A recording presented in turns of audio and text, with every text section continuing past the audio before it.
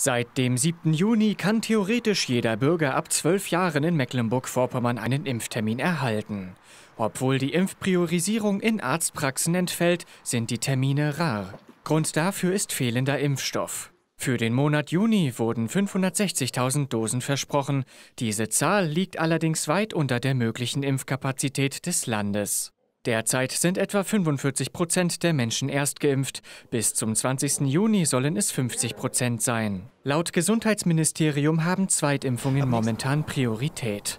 Aus diesem Grund mussten einige lang ersehnte Termine für Erstimpfungen abgesagt werden, denn der Impfstoff reicht nicht. Deshalb wurde auch eine Sonderimpfaktion für die Ministerien gekippt. Da eine Prioritätsstufe nicht mehr notwendig ist, können sich alle Beschäftigten nun auch privat um einen Impftermin bewerben.